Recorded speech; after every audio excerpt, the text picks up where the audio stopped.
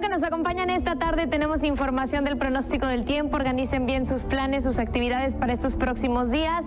Tenemos altas presiones dominando en parte de nuestro país, por eso altas temperaturas, por eso pocas nubes y por eso también no se ha reportado nada de lluvia. Tenemos esperanza de que algunos chubascos y tormentas se reporten para ya finalizar esta semana, pero ahorita les voy a platicar detalle a detalle pues lo que nos depara en cuanto a condiciones meteorológicas para estos próximos días. Por lo pronto tenemos un valor entre los 28 y 29 grados, sin duda muy caluroso en la ciudad y en la zona metropolitana del Valle de México, sin duda, porque no se ha reportado nada de lluvia y las temperaturas están elevadas en su mayor parte.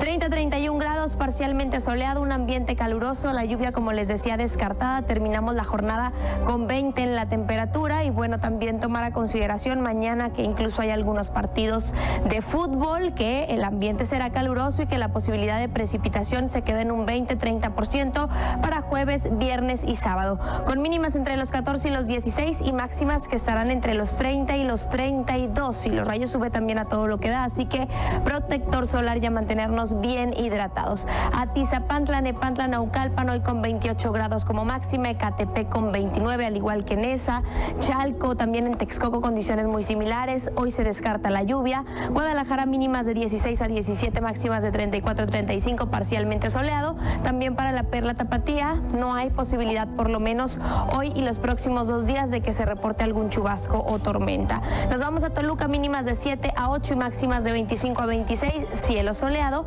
la lluvia hoy se descarta, jueves y viernes podría reportarse solo en un 20%. En el caso de Querétaro 32 grados, Morelia con este mismo valor, Puebla con 30, Cuernavaca con 36 y recordarles que ahorita hay pocas nubes, se puede apreciar una luna llena en proceso a ser cuarto menguante para el domingo 22 de Hasta aquí los detalles, que tengan excelente tarde.